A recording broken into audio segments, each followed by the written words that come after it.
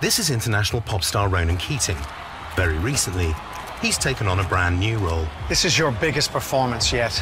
Look, I know what this feels like. You just gotta show them the love. You just gotta shower them with declarations of love, yeah? Yes! I believe in you. Let's do this. Wembley, 2,242. Check. Weston-super-Mare, let's be having you. When Costa Coffee asked me to be the director of love, of course I said yeah. As director of Love, Ronan's job is to get to know the customers better and work with the staff to find new ways to communicate the love.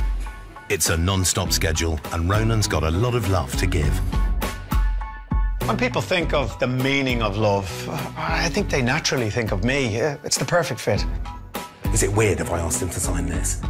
I didn't think I'd have to visit every single Costa in the UK, but hey. When you say nothing at all.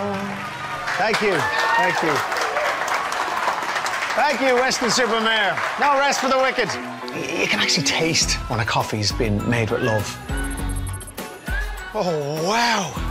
Some real love right there. It's all in a day's work for Costa's director of Love. Guys, I've had the best time, but I've really got to get my skates on. Thank you, Weymouth. See ya. You're Ronan Keating, aren't you? Oh, yeah. Life's a roller coaster.